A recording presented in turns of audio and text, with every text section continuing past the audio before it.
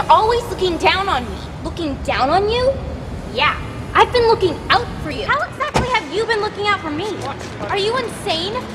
That's all I ever do. Where are you going? I'm not finished. Yeah, well, I am. Hey, why don't you just go run along and have fun? That's what you're good at, as opposed to you, which is walking away whenever we start to have a real conversation. I don't have time for a real conversation. Too busy taking care of things. So who asked you to? You did. The minute you stopped taking responsibility for anything since mom died. That doesn't mean you get to be her replacement. You know what I miss most about mom? That she loved that we were different. And you punished me for it.